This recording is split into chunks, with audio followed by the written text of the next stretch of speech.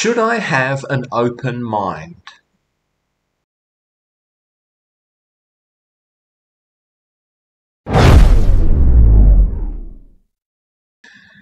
I have a friend who tends to entertain certain conspiracy theories. I understand the kind of attraction that these theories can have for people. Once you begin down that rabbit hole, once you've accepted certain premises with which such theories usually begin, premises which don't necessarily seem preposterous at the beginning, well, you can quickly slide down that slope and it can be very difficult to haul yourself out again. It becomes easier to argue away discrepancies and to dismiss evidence and facts than to abandon a position which you've invested a lot of time and energy into. I know how difficult it can be to argue with people who adhere to such theories, and it's rarely worth the effort. It's just frustrating, if not infuriating. I prefer not to embark on that journey. When I've expressed to such people that I don't want to discuss such things with them, they usually try to argue anyway, and, and when I still refuse, they often tell me that I should have an open mind. Right, should I though? Should I open my mind to an influx of garbage? There are certain things that I will not open my mind to. I will no more ingest poison with my mind than with my body, if I can help it.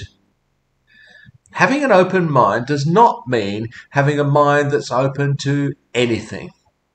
If I had an open mind in this sense, I'd have to take seriously QAnon claims that Tom Hanks and Hillary Clinton eat babies.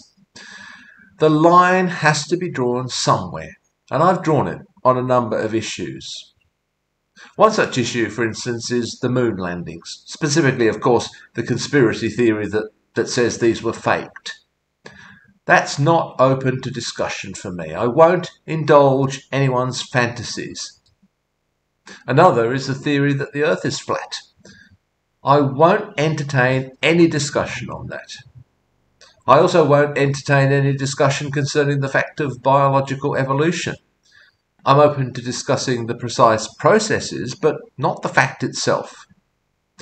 I'm sure there are many others. Conspiracy theories proliferate online.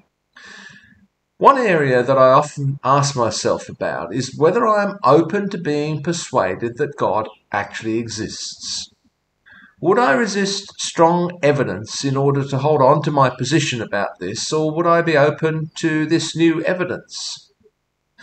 I know that there are some strong advocates of atheism out there who say that they're open to being convinced. Some even say they wish it were true that God actually did exist. I take them at their word, but that's not the case for me. This is, in fact, quite a complicated question, and there are many other questions that would also have to be answered. It depends, first of all, of course, on what you mean by God, and this is far from being a trivial question. What are the minimum requirements for a being to be regarded as a God? Well, let's start with the dictionary definition. Although I call this a definition, it probably isn't definitive, but you have to start somewhere. So the first definition in the Merriam-Webster dictionary is this. God, the supreme or ultimate reality, such as the being perfect in power, wisdom and goodness, who is worshipped, as in Judaism, Christianity, Islam and Hinduism, as creator and ruler of the universe. So this jumps straight into what is basically the Judeo-Christian Islamic tradition. It includes Hinduism in this list, although I think Hinduism uses the term God in other ways too. This definition wouldn't seem to include belief systems such as the Greco-Roman or Egyptian or Norse systems.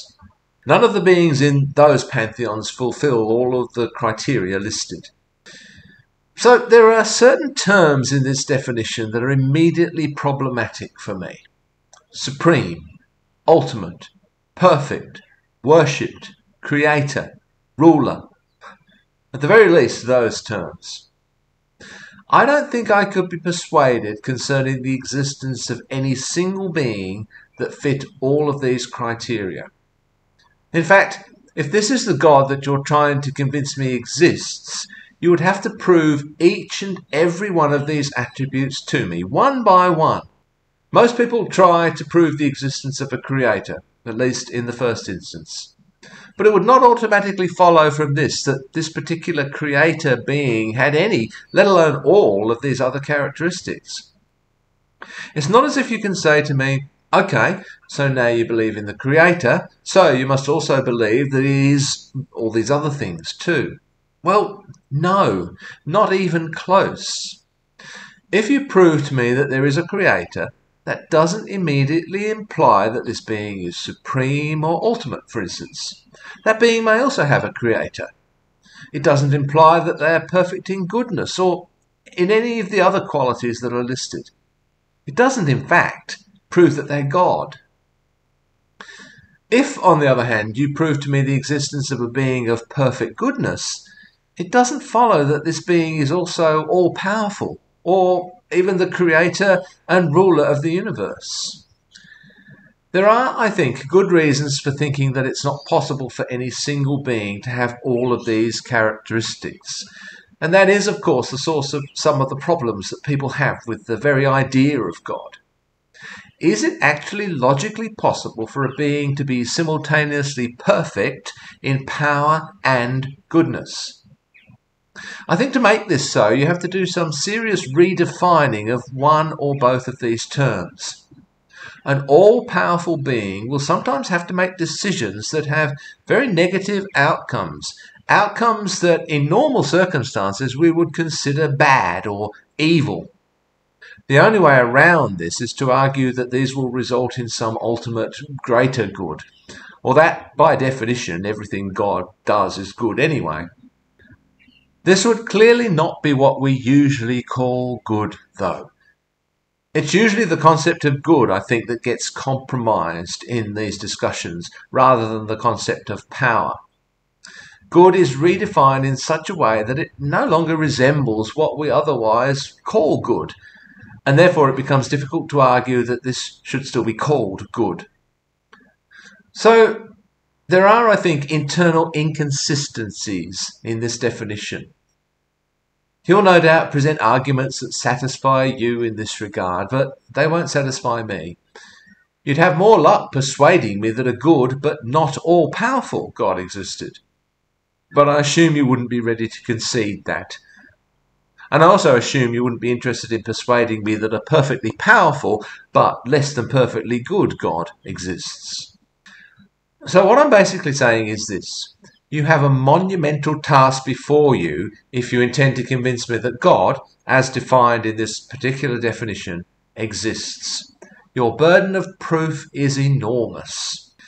Even then, I may not be persuaded to worship such a being, at least not in the sense of giving such a being my undivided, undying loyalty and my total, unquestioning obedience.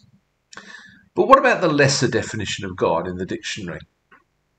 A being or object that is worshipped as having more than natural attributes and powers. Well, I guess this fits the idea of what constitutes a god in, say, the Greek pantheon. I'm sure most of you wouldn't even accept this as an appropriate definition of God, so maybe the argument is moot. That there may exist beings in the universe that have some attributes and powers beyond my own? Sure, that's possible, maybe even likely. More than natural remains problematic for me, though. If I were to encounter such a being, I'd be more inclined to believe that their powers were an expression of natural phenomena or technological developments that were beyond my present understanding, rather than in any way more than natural or supernatural. So, is my mind open to the possibility that God exists? Not very, I have to admit. There's too much you'd have to prove to me. At a lower level, am I open to the idea that this universe may have been created by a being or beings? Yes, yes, I'm open to that, though I would be unlikely to call such beings God or gods, just on the basis of that, anyway. I think it would be interesting to find out, though, whether such a being or beings exist and created this universe we see around us. The kind of proof I'm open to, though, is meeting them in person and having a tour of their lab.